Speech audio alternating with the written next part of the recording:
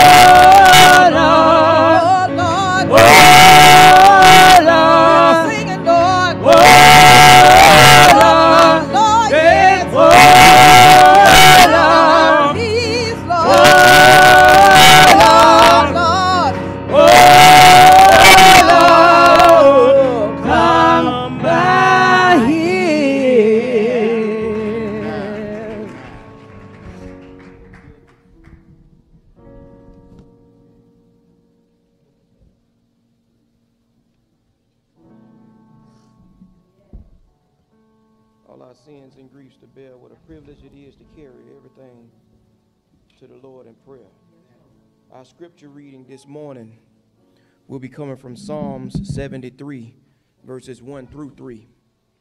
Psalm 73, verses 1 through 3. And it reads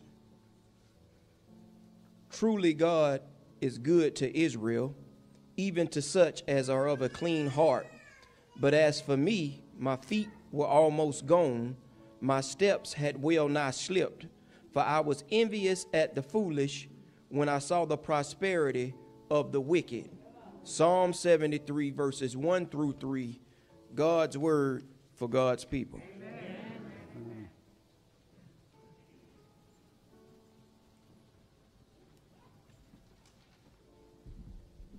Good morning, Old Macedonia. Let us pray. Our dear Heavenly Father, Lord, we'd like to thank you just for allowing us to be here. Lord, thank you for this wonderful, beautiful, rainy day and being able to spend it with our families and with our friends and church members, dear God.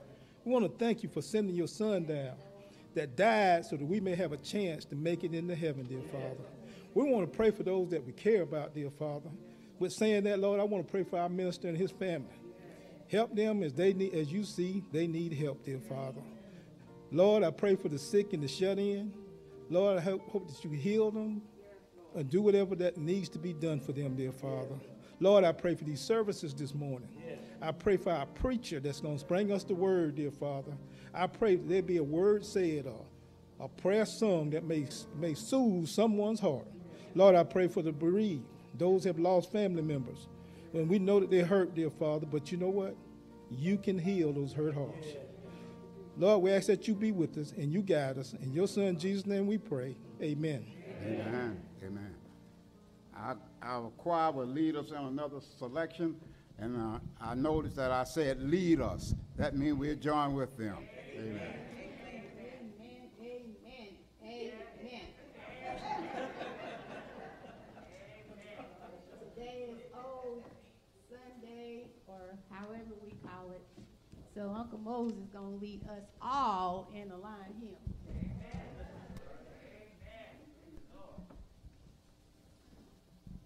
Good morning. We're going to sing hymn 449. We're going to sing as we line. Must Jesus bear the cross alone and all the world go free? Must Jesus bear the cross alone and all the will go. No, no, no, no, there's a cross for everyone, and there's a cross for me. No. Cross for everyone,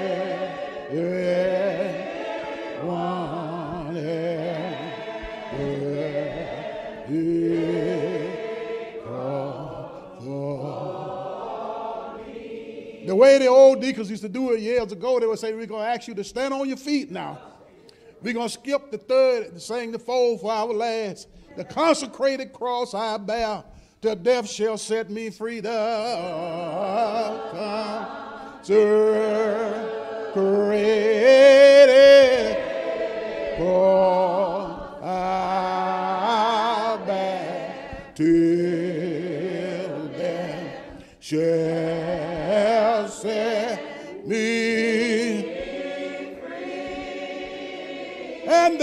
go home my crown to wear, for there's a crown for me there.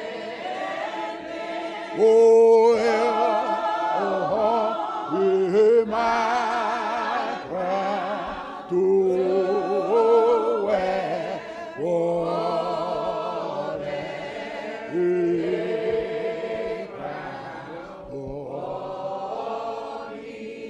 I will trust, yeah, the Oh,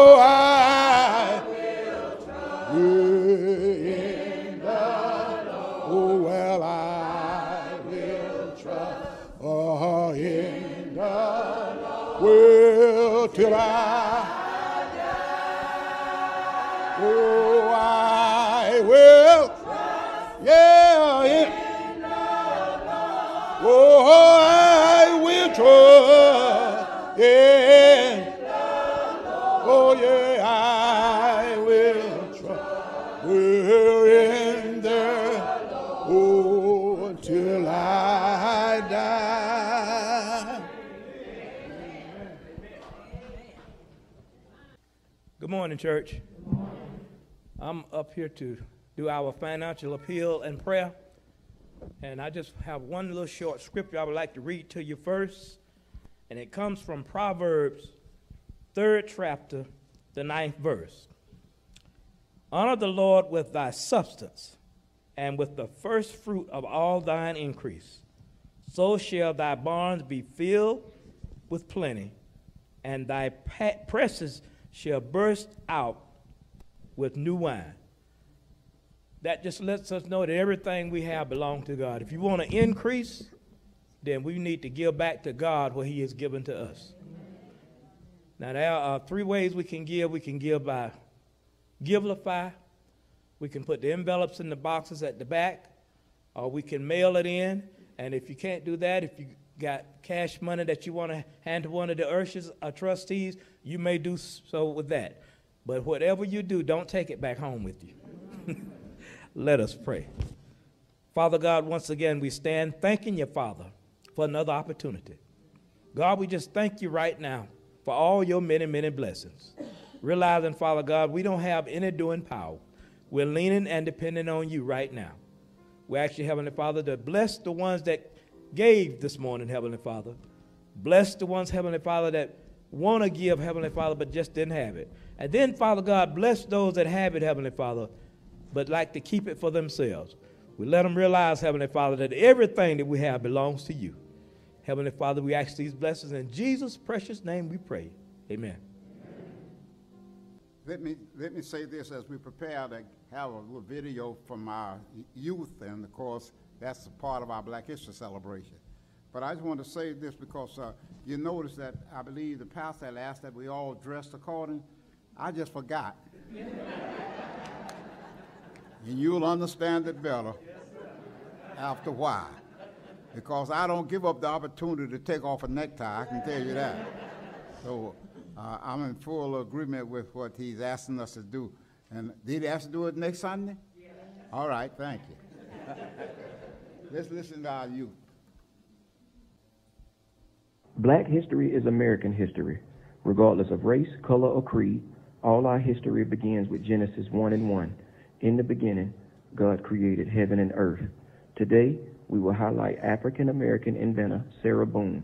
Born February 1832 in Craven, North Carolina, she is the inventor of the ironing board and managed to acquire over 470,000 patents prior to her death in 1904.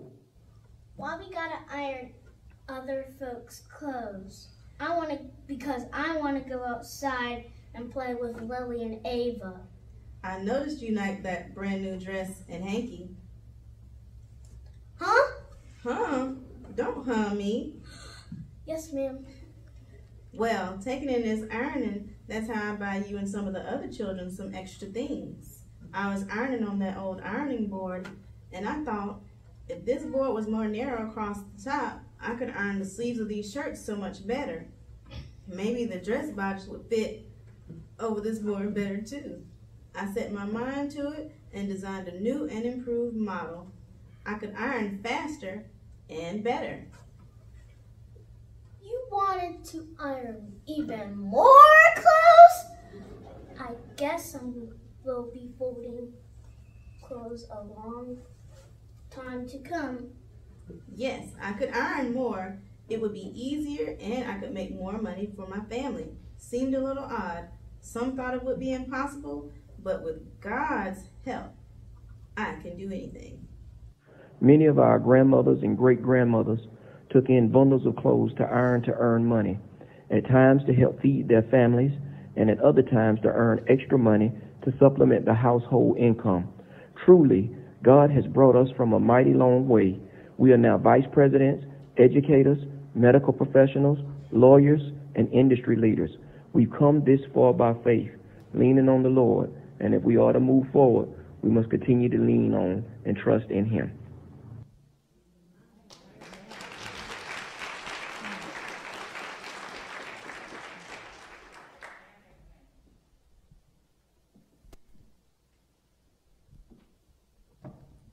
Good morning, O Macedonia. Indeed, we have come this far by faith. This morning, I'm going to ask you to please pay attention to the announcements that will be shown on the screens on t- to my left and my right, as well as in the back. And Pastor has asked me to remind uh, you all that next Sunday is support your school organization or person with your paraphernalia. And so we'll be wearing our school colors or supporting our favorite person next Sunday by wearing uh, paraphernalia accordingly. Amen? At this time, I'm going to ask the children to come forth for this morning's sermon.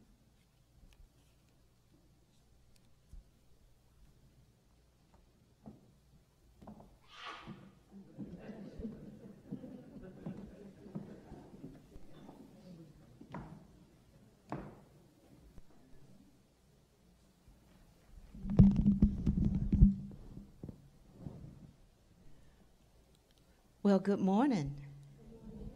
Good morning.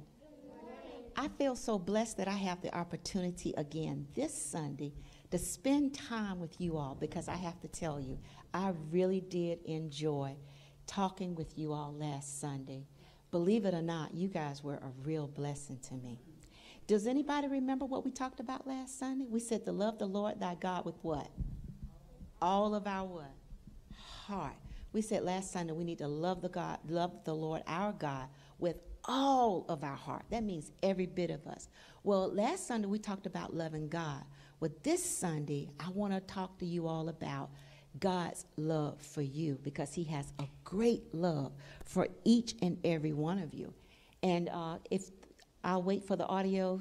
Can you get the? Oh, there we go. So let me tell you, this is a big scripture this morning, but don't worry about it. I'm going to explain it to you so that you can understand exactly what it is. Okay? So let me read this first. It says, "Can a mother forget her uh, the baby at her breast and have no compassion on the child she has born?" Though she may forget, I will not forget you. See, I have engraved you on the palms of my hands. Your walls are ever before me. Let me tell you what was happening in this scripture. See, God had chosen the Israelites to do something for him. He wanted them to tell the whole world about his love for the whole world. He wanted them to tell him about to, tell the world about his goodness, about his power, about his strength. But the Israelites did not follow God's rules. Remember, we talked about rules last Sunday? And you all told me some of the rules that you have at home, right? Well, those rules are there so that you are protected by your parents from the things that happen in life. And those were the same kind of rules that God had for the Israelites. Well, they didn't follow God's rules, and guess what happened to them? God let them go into slavery. Wow, when you go into slavery, you can't do what you want to do, when you want to do it. You're always having to work and do what somebody else is telling you what to do. Well, the Israelites were very, very sad about that. And so one day they asked God, they said, God, have you forgotten us? Do you still love us? And God said, You silly thing. Well, really, He didn't say that, I said that. But that's the meaning. God says, No, I will never forget you. He says, Can a mother forget her baby girl? Or can a mother forget her baby boy? He says, You know what? She may forget you, but guess what? I will not stop loving you and I will never forget you. I want you to know that God always have you on your have you on his mind. And to prove that, he said in his word, he says, I have engraven your image in the palm of my hands. Look at my image. See, isn't that beautiful? See me? That looks like a tattoo, doesn't it? Does that look just like me? Well, not exactly. But this is what God did. See, He's taken your image and He's got He's put your image in the palm of His hands. Now it's sort of like a tattoo, but not exactly. Because what He did was He's kind of like carved your image into the palm of his hands. And every day, God has you on his mind. When he looks at his hand, guess whose face he sees? Yes, he sees your face. He always has you on his mind. He loves you so much. Guess what? He knows how many hairs you have on your head. He knows how many you've got in yours and in yours. That's how much He loves you. So, this is what He wants you to do keep Him on your mind. Tell the whole world about Him, and guess what? He's going to always keep you on His mind, and He will do everything He promised that He will do for you. Okay? Say this with me. We're going to make application of God's word this morning. Can I get you all to say something with me? Say this with me. Say, Father God, Father God, thank you, thank you for always, for always having me having me on your mind. I love you. I love you, God. In Jesus' name, Amen. Thank you. You can go back to your seats.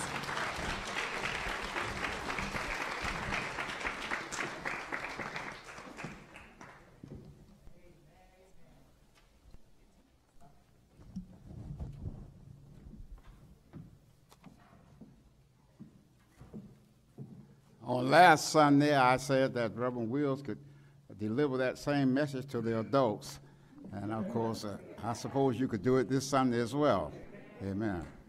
Uh, I, I, I don't know.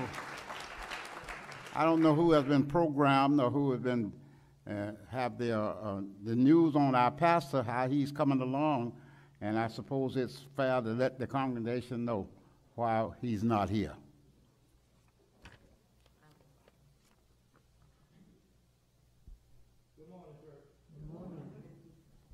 Pastor is rec- and his wife and mother are recovering from recovering from COVID nineteen. Their last day uh, in recovery will be tomorrow, and hopefully they'll be back next week. But they could not come out before the thirteenth. But y'all just keep the pastor and family in your prayers.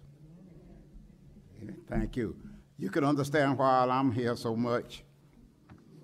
And Reverend Wills, going to be messages for the day. So we'll do. Let's join with the choirs. They lead us in singing, and after that, uh, the messenger by the Reverend Barbara Wills will. I ask you to pray for her that God will use her to bring a word that is fitting for our times and our condition.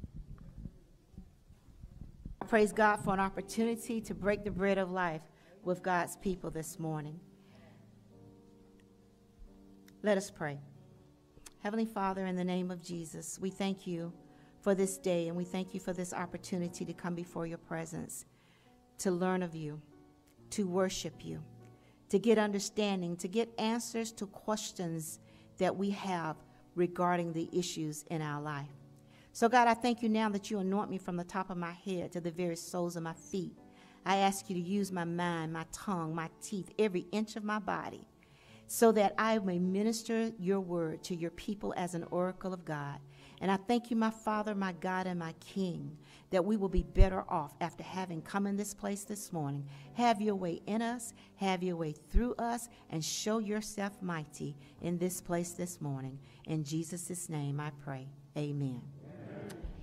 Our foundational scripture this morning is found in Psalm chapter number 73. And Deacon Quilla has read in your ears uh, Psalm 73, verses 1 through 3, which reads as follows It says, Truly God is good to Israel, even to such as are of a clean heart. But as for me, my feet were almost gone. My steps had well nigh slipped, for I was envious at the foolish when I saw the prosperity of the wicked. And then, if you will just uh, go with me to verse number 17, and it reads as follows Until I went unto the sanctuary of God, then I understood therein. This is a psalm that was written by a man named Asaph. Asaph was actually a minister of song in the house of the Lord. And if you were to read in Second Chronicles, you will in First Chronicles and in Second Chronicles, you will find that David was the one that actually set Asaph over the service of song in the house of the Lord. And in Second Chronicles chapter number 20, uh, Second Chronicles chapter number 29 and verse 30, you will find out that not only was he a poet and a songwriter, but he was also a prophet of God. Now, Asaph is allowing us to kind of look back with him over his life because there have been some things that have been going on in Asaph's life where today he's able to say, Surely the Lord is good. But you know, Asaph was not always able to say that in all earnestness and with all true conviction because there was a time he wasn't so sure about God. There was a time in his life he wasn't so sure that God cared about the righteous, let alone he wasn't so sure that God even cared about him. You see, he is being very transparent over his life as he looks back over his life. You know, Asaph is like many of us in these times. Asaph had been watching the things that were going on around him. He had been seeing the violence in the land, just like we can see violence in our land today. Amen? He's, you know, he's watching things that's going on. Like us, he's seeing the police brutality. He's seeing black on black crime. He's seeing when you go in the stores and you shop, you might very well run into a Karen. You're minding your own business. And it seems in these days and times that there is no distinction between people who are older who do not mind intimidating and threatening small children. I was just looking at, I was looking um, uh, on a, on, a, uh, on a newsreel the other day or a newscast the other day I was looking where some children, uh, where this little girl was out, and she was actually doing a science project, and she was spraying, you know, some uh, some water or some some uh, I guess um, soapy water solution or whatever on these trees to try to eradicate these bugs that you know were, were damaging the trees.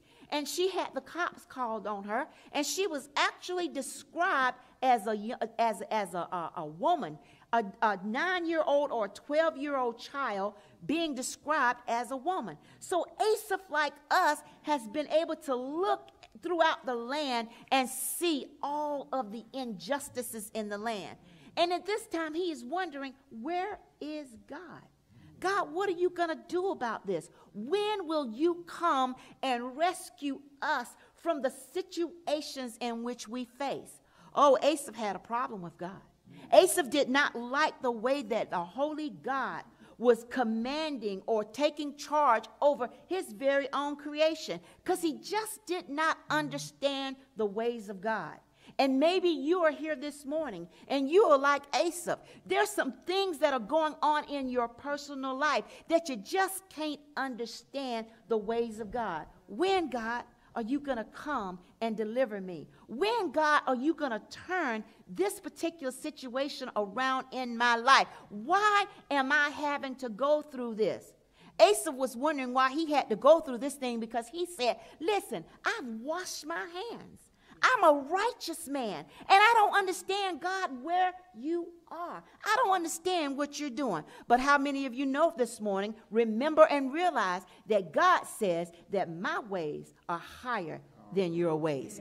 He said, My thoughts are higher than your thoughts. See, we can't understand all of God's ways because right now we can't see everything. He says that right now we see in a dark in a, in a, in a, dark glass dimly. We don't know the end of a matter, but God has told us in His Word, don't you worry about it. I got your back.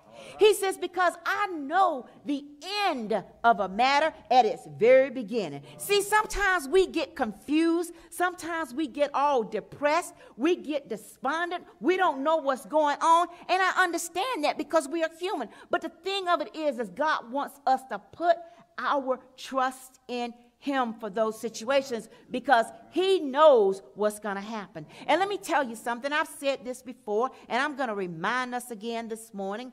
You know that even though we are going through things and things may not even turn out the way we want things to turn out, we may have washed our hands in innocence as Asaph said he did. Asaph says, I'm a righteous man. I'm living right before God. And stuff is happening to me. He says, when I lay down at night, I lay down in pain. When I wake up in the morning, I wake up in pain. When I lie down at night, I wake up, I lie down in trouble. And I, when I wake up in the morning, there's still trouble confronting me. Trouble on every hand. Trouble on my right hand. Trouble on my left hand. Issues coming at me. Stuff going on all the time. God, what's happening? But I want you to remember this morning that even if things don't pan out, if our prayers are not answered the way we want God to answer our prayers, guess what? We still win.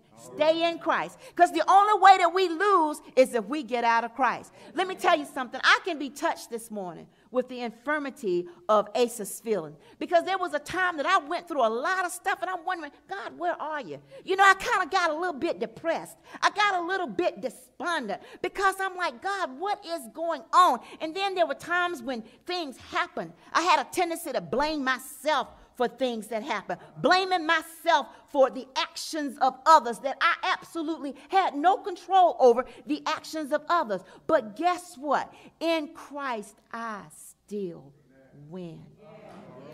I told the children this morning that God has engraved our image on the palm of his hand. One, one translation says that God has indelibly tattooed our image on the palm of his hands, but it goes so much deeper than that.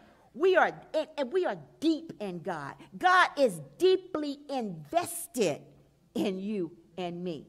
Every morning when we rise, He is watched over us as we lay upon our bed and rested at night. When we, when we are lying down in our sleep, there's danger that's going on all around us. Just think of all of the dangerous things that God stopped before they even got to you, even as you lay in your beds and slept. Even as you were traveling on your way to old Macedonia this morning. Just think of all of the dangers that God kept you from because you are always on his mind.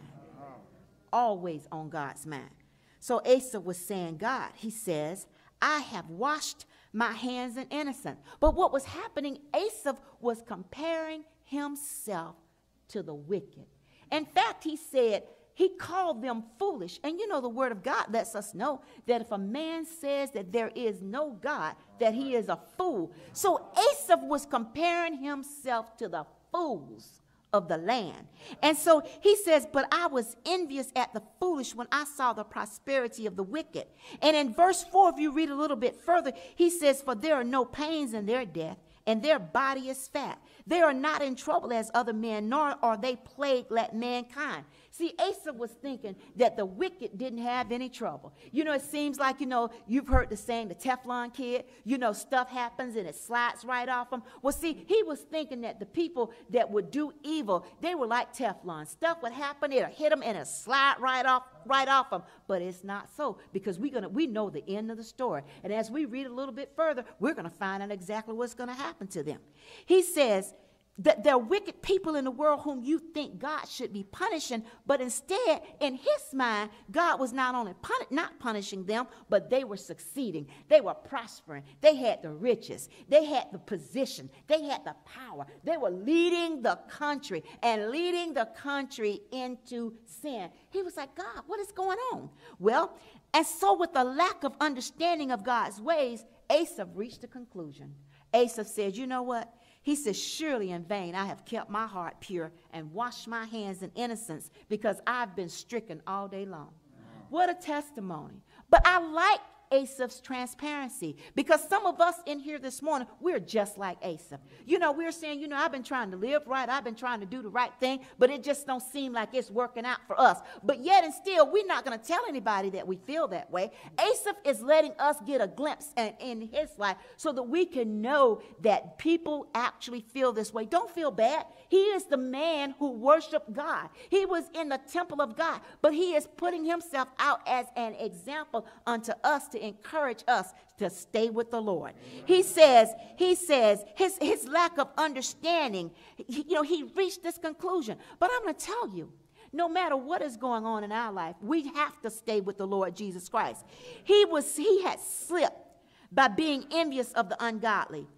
He was ready to let go of God through comparison. He was, in fact, he said he was in a quandary. He said that there were times he wanted to even tell other people how he felt. But he, he, but he knew that if he told other people that he felt this way, that he would be betraying, betraying God. And it's a good thing that he did not tell everybody how he felt because he could have led someone else astray. Sometimes we try to do, sometimes we try to understand what God is doing in a particular situation. And when it doesn't work out according to our own theology, we get discouraged, we get depressed, and sometimes we even get, uh, get despondent, which is what Asaph did. But then Asaph said, I went into the house of the Lord. He says, I went into the sanctuary. And you know, it's a good thing to go into the sanctuary because, see, the sanctuary is where God dwells. The sanctuary is where we get our counsel from the Lord. The sanctuary is where we go and we actually can meet with God. And so he went into the sanctuary. And when he was in the sanctuary, God gave him revelation knowledge. God showed him the end of the wicked. It was in the sanctuary that he understood that God would set the wicked in slippery places. See, when you're in a slippery place, what you're going to end up eventually doing, you're going to end up falling.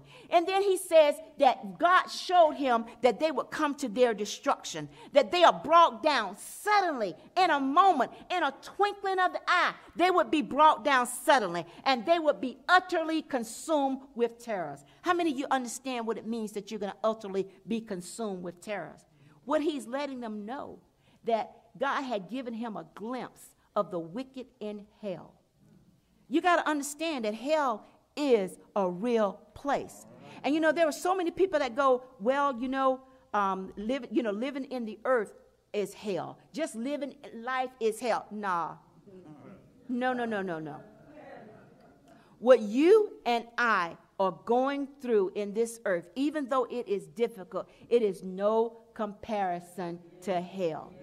The scripture says that the worm does not die out. So the issue that you, the thing is, is that when a person is in hell, when their soul is in hell, there is never any rest. There is darkness forevermore. And the scripture says that there is gnashing of teeth, unhappy, un, unable to escape the pain, and unable to escape the understanding that, what that they have uh, rejected a good and a holy and a mighty and a powerful God their terrors will never die out. And in fact, the scripture says that the Lord will even despise their image. Those that reject the Lord, the Lord will reject them. So hell is a real place. And then he said, then Asaph, all of a sudden, he came to him, uh, he came to him, his senses. And so now he's saying, what a fool I was to accuse God. He says, I was a fool and ignorant. I was like a beast before God. You know, people who do not love God, people who do not obey God, people who reject God, they really do live like beasts. Because a beast will do what to another animal? A beast will devour another animal. And that is what we're seeing going on in our world today.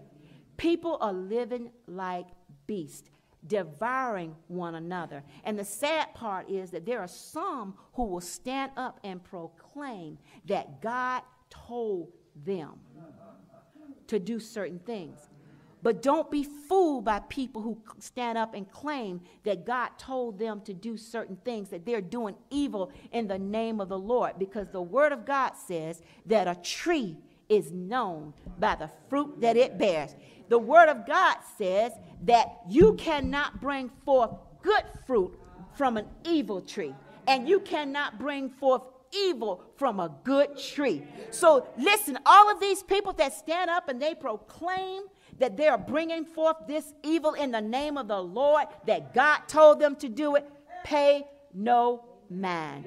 Don't follow what they are saying. I don't care how much political power they got. I don't care what kind of preacher robe they got on. I don't care what kind of cute dress she's standing up in the pulpit and saying. If it does not agree with the word of God, cast it out. This word is the final authority for every issue that you and I are going to ever face in life.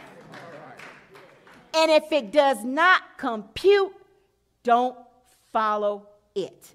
Amen.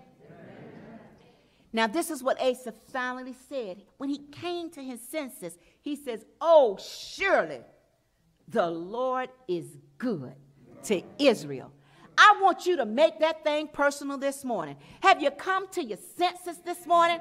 Has something been said that you were blaming God, thinking God had forgotten about you? Now you can truly say, if you've heard the word and if you believe the word, now you can truly say, Surely God is good to me. Can you say that with me this morning? Surely God is good to me.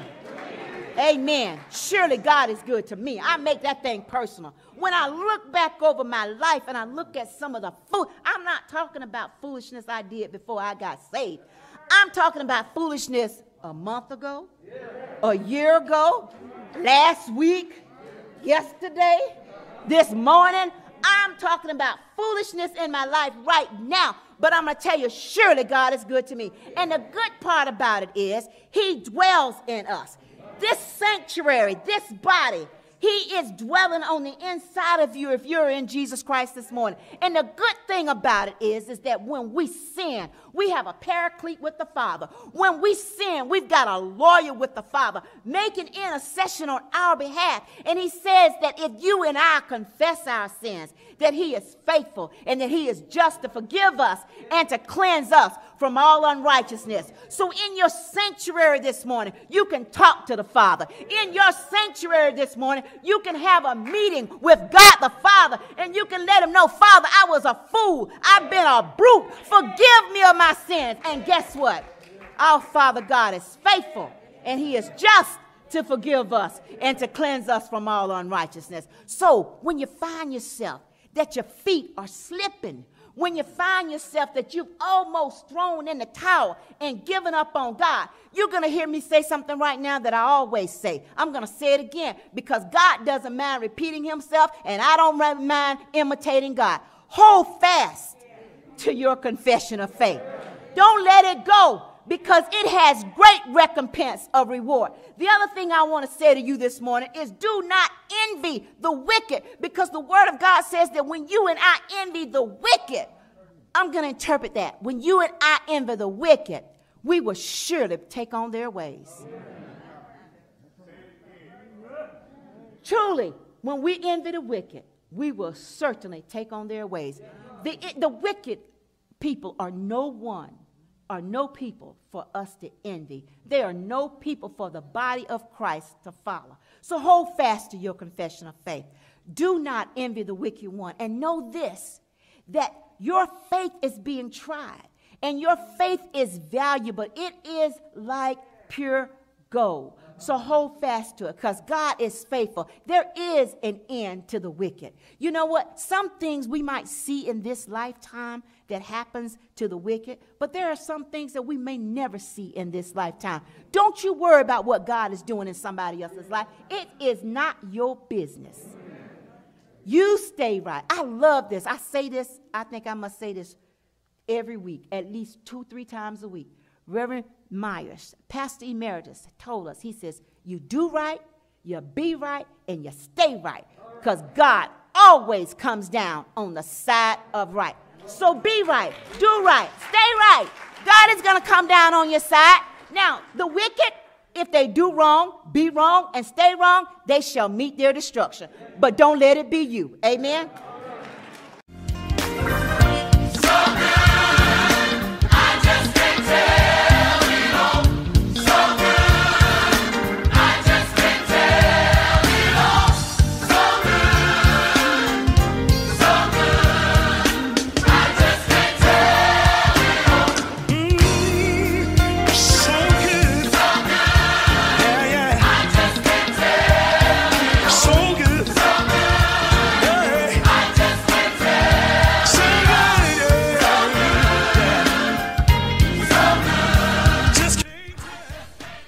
You for joining us today at Old Macedonia Baptist Church.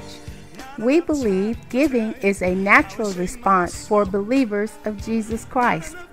We receive God's love and grace, and out of an overflow of a grateful heart, we give. We have multiple ways you can give. You can mail or drop off your tithes and offerings to 200 Macedonia Road, North Augusta, South Carolina 29860.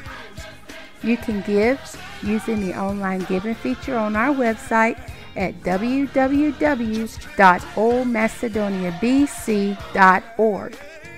Or you can download the Givelify app to your mobile device. Search for Old Macedonia Baptist Church in North Augusta, South Carolina. And don't forget to mark it as a favorite. To whom much is given, much is required. God bless. God